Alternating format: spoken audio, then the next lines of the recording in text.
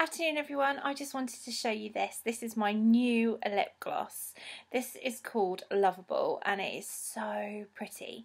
Now I've never really worn pinks before but it's a little bit gloomy outside and as it's Easter I wanted to brighten myself up. So I've got my Jules top on, or my Jules shirt should I say, um, and I thought yeah I'm going to give this a go because it matches my top. So if you've never tried one of the lip glosses before, they they're screw tops, so they don't fall out in your bag and go everywhere, which is really, really annoying. They also have a fantastic mirror on the side, just in case you're out and about and you want to apply your lip gloss.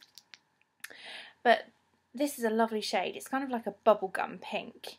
Um, these lip glosses are super smooth and they're long lasting as well. They're non-sticky, which I think is a really good element to a lip, really, really good lip gloss. They glide on. Happy Easter, everybody!